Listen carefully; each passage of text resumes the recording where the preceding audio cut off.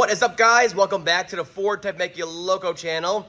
Uh, so today we're going to talk about a real common occurrence and a real issue that Ford's having right now with all their four-cylinder EcoBoost engines. Doesn't matter what year it seems, they all have problems with coolant consumption and cracks in the block, all right? Lots and lots of issues between cylinders two and three on there. So this one right here, for example, is a really good example of how it's gonna look, all right? So this one right here is a 2014 uh, Ford Escape 1.6 liter EcoBoost, all right? But again, this issue affects just about every one of their four cylinder EcoBoost engines. So 1.5, 1.6, 2.0, 2.3, and so on, all right? So this one right here came to me about a year ago and he had about 55,000 miles on it. Came in, said he had a coolant leak and it set a code for low coolant level. This one is one of the early vehicles, 13 and 14s, that we added on the standpipe uh, on there. And I, I, I filled it and I pressure tested it last time about a year ago and I could not find no leaks anywhere. It was low, like a gallon low on coolant in this little engine. All right, so major issue, right? So I pressure, I filled it, pressurized it. You know, I checked the water pump on there. It's another common area these engines leak, and everything was dry. Underneath, dry. Everything's just dry. I went ahead because I know about the EcoBoost and their their block issues and the leak issues and coolant getting in this cylinder. So you know, last time I was here, I went ahead, and pulled all the plugs, and I checked down the cylinders and nothing. So I told them it's probably the block. You're probably gonna need a long block. So either you put a long block in it or you monitor the coolant. Fast forward a year to now, and this thing comes in on the hook the other day, and it's got overheat codes in it. Uh, it it's got overheat protection codes in it. And of course, the coolant is empty like you see here. So this one, uh, it was bad enough where it ate up all the coolant in there.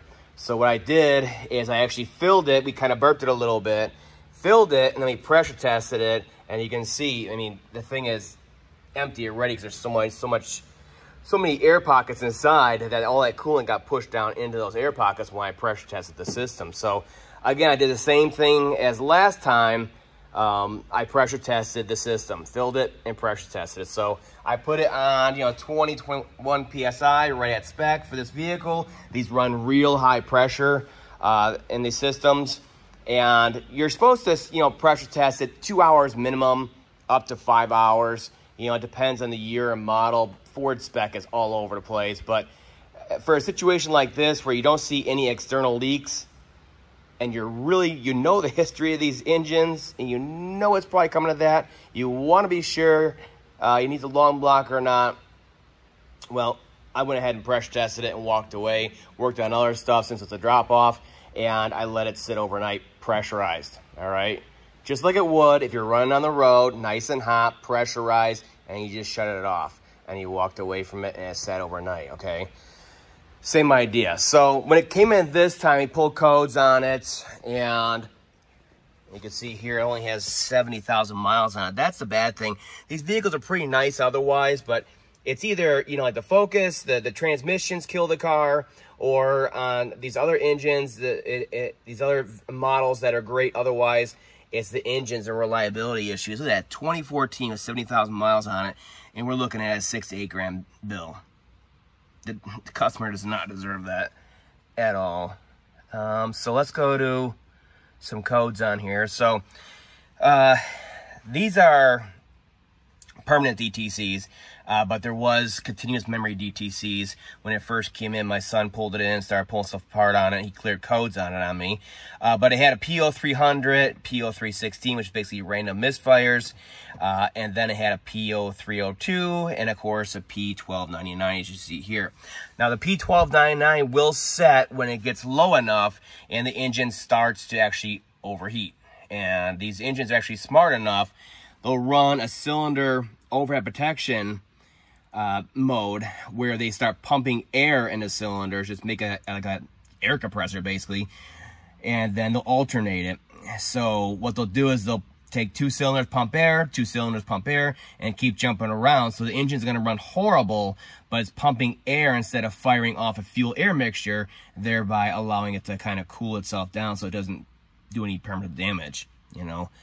Uh, a lot of four cylinders have that. So the other thing uh, noteworthy here is a P0302. Again, these these four cylinders, when they crack in the block and have issues, uh, it's usually between cylinders two and three. It's been an issue for years, but especially on these uh, EcoBoost engines. So of course now we have permanent DTC of an identified cylinder to misfire.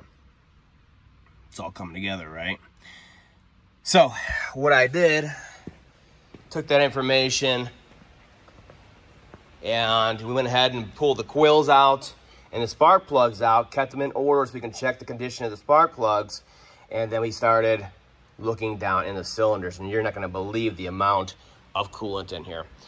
Real quick, because it is good information. Like I said, it's like a murder mystery when you're trying to figure these vehicles out for diagnostics, you want to look at all these different pieces and put all the pieces of the puzzle together to form a conclusion on there. So these are in order, okay? Just so this is cylinder one. So you can focus on it. There we go. So right there you see it's light tan all the way around, cylinder one. That is perfect. By comparison, this is cylinder two. See those like ashy, grayish deposits on there, yeah, it's burning something, like coolant. See that? And then cylinders three, nice light tan, absolutely perfect. And cylinder four. So which one of these is not like the other? Yeah, cylinder two. Another piece of the puzzle. Look at those deposits right there. It's definitely weird. It's definitely different. All right. So real quick, um, I'm gonna get my endoscope out so you guys can see, and we're gonna look down at each one of these cylinders, and I'll show you how it looks uh, when it actually leaks down into there.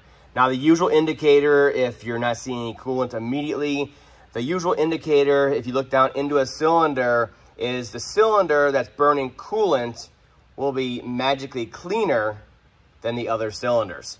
So it'll be nice and shiny and clean in there because it's basically steam cleaning it every time it fires in there with a coolant leak, you know. Um, whereas this one, this one's just pooling up in there. You won't believe it. So I'll go ahead and get the endoscope out so we can look together down into the cylinders. I'll show you exactly what it looks like. All right, here we go. We're to start off on cylinder number one. And these cylinders are a little bit weird to get into here.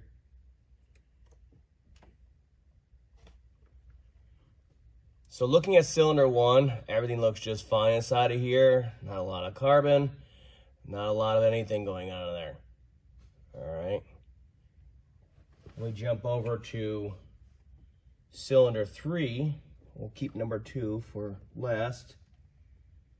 You can see these have oil leak issues too. Cylinder three, it basically looks fine too. For as far over as I can tell on here. And there we go. Not too bad, not too carboned. All right. Cylinder four, you guessed it, it's gonna be basically the same way. Man, these are weird going down in here. Look at that. Not too bad of carbon. Like I said, 70 some thousand miles. No big deal. So let's jump over to cylinder three, or cylinder two, cylinder two and let's see if we find anything in here. Wow. So again, looking inside of here, you can see there's a lot of something in here. Well, it's, it's orangish looking. Um, and that is the coolant because this runs the OAT coolant, the orange acid technology coolant. So you can see, yeah, it's pulling up in there. Try to get you a spin, give you a twirl.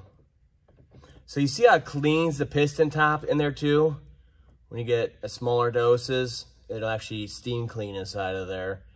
You see some carbon there and it's kind of getting rid of it right there uh, as it steams it. It's about as far as I can go. But wow, I mean, look at all the coolant in there. That's a lot of coolant. So of course we pressure tested this and it's, you know, been pressure tested for five, six hours at least. Um, but wow, that's a lot. Yeah. So that is where it's all going. And that's why our bottle is empty. It's absolutely empty because it's getting all burned up by cylinder number two. What do you guys think? Huh? It's pretty crazy, right? I mean, that's a lot of coolant missing from the bottle and a lot of coolant down in the cylinder after a pressure test like that. I mean, that's why, you know, it's misfiring on cylinder number two. Uh, it's a little cleaner in there, a lot of fluid in there. And of course, we have the overheat protection going on because it's gobbling up so much coolant.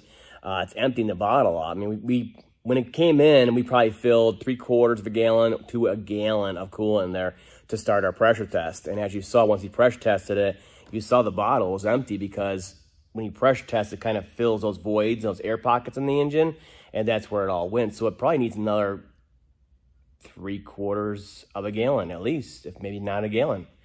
That's a lot in that little car to lose. So that's why the cylinder head uh, overheat protection mode came on and everything else. Uh, but it doesn't matter uh, because the, the block is the issue. And I feel really bad for a lot of you out there own these vehicles and uh, because they're usually pretty decent vehicles otherwise. You know, these, these EcoBoost, these four-cylinder EcoBoost engines are in a lot of Ford models. And, you know, it's just like one of those things like, I don't know. And the 543 valves, they had the timing tick and this and that. Oh, we need to make bigger bearings or smaller oil holes. We need to do this and that. I understand. But this is pretty basic. This is a cylinder head bolted up to a block. And they could not get it right. And they've been, you know, building engines for how long now? Over a century. Uh, it's real basic stuff. When they, when the basic stuff fails, it makes me mad uh, because this affects a lot of vehicles. Just about all the four-cylinder EcoBoost engines out there, from when they first started coming out uh, up until current day, I would not trust them. I would think that at some point in time, they're going to have this issue on them because they just keep rolling them out with the same issue over and over again. And there's been some recalls and extended warranties and stuff like that for certain models and years, but it certainly doesn't cover them all, and it doesn't cover this one.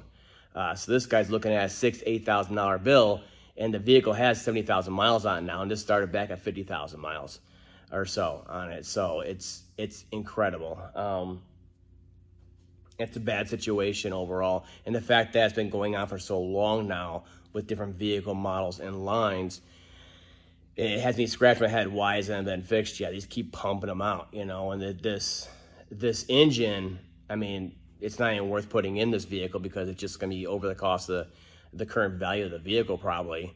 Um, but it's up to them. You know, if they want to do it, I'll order it. I told them a year ago it probably needs a long block, and now it's gotten so bad, we just confirmed it. But this is how they look. This is this is very, very, very common, unfortunately. Say we, what you guys want about the 543 valve, but it doesn't have base engine issues. It's got a timing set it needs. Oh, no. This one needs an engine and it's a 14. And that's total BS that that's what's happening, you know. That's why I say the 543 valve and all these other engines, they're, they're actually great compared to these other ones that are just like major design flaws and they're just junk. They're paperweights. You got to replace the whole thing. It gets very expensive real quick. Anyways, I hope this video was informative, but that's all for now. I'll see you guys next time.